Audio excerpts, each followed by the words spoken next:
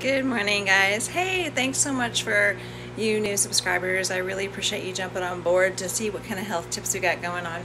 So anyway, I'm going to share with you this morning what I'm eating for breakfast. So I have a little bit of probiotic cashew milk smoothie to get those probiotics in my system, which is going to help my gut and help balance everything out.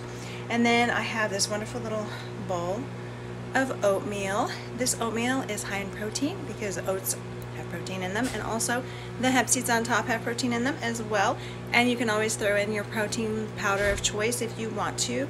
I have a little agave syrup in here as well and then I have soy milk so that I can help to get that soy um, level up for myself because I need the um, balancing effect that it has on my system and for my hormones. So um, as we get older, we ladies need a little bit extra soy, so a little estrogen really, and so we can use the soy for that. And then this is a wonderful, nice um, bagel that um, I bought um, at a health food store, and it has um, some wonderful coconut oil to get those natural fats in there.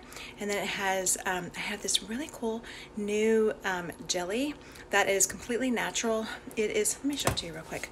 It's a chia um, it has a lot of chia in it, so it has a lot of that superfood in there for us. Um, so we're getting that protein too. Um, but right here, this is it. Isn't that cool? Um, it was on sale, so I thought I'd check it out. Um, and it has in it, see if I can read this, Concord grapes, dates, chia seeds, lemon juice, concentrate, and fruit pectin. That's it. And so they have a lot of different flavors. But anyway, I have some of this on my um, bagel this morning, and it's really awesome. Thanks, like, and subscribe. Thanks.